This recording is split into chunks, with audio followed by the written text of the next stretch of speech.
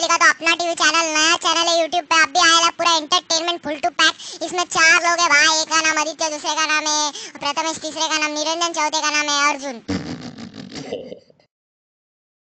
अरे भाई लोग आप ये देख लीजिए सब्सक्राइब कीजिए ये लोग बहुत अच्छे हैं इनको सब्सक्राइब कर देना प्लीज़